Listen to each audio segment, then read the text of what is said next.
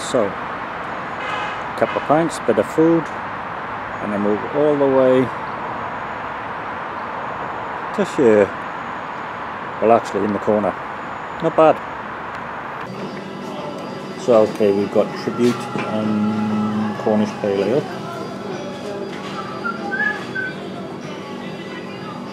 I can't remember who it's from. Let me check.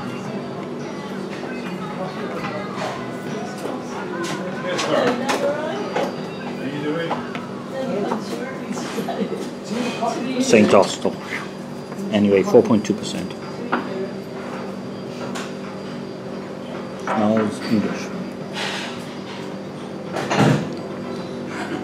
Hmm. Bit fruity, maybe.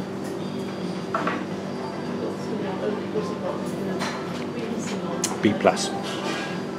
Perfectly fine.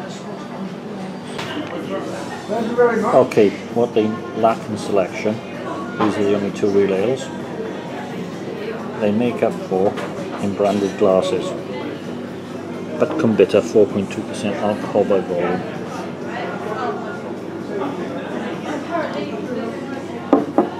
That's a bit more bitter. Still nice. B plus.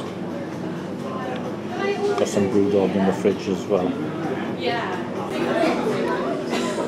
I've never seen this as lager in a bottle before.